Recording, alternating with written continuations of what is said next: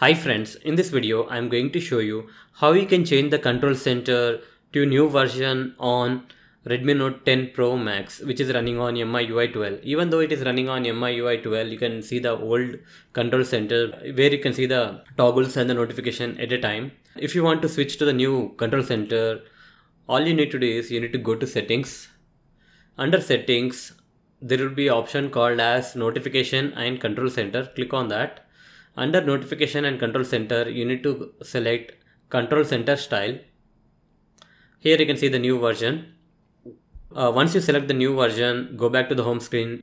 If you want to view the new control center you need to uh, pull down the status bar from the right. Here you can see the control center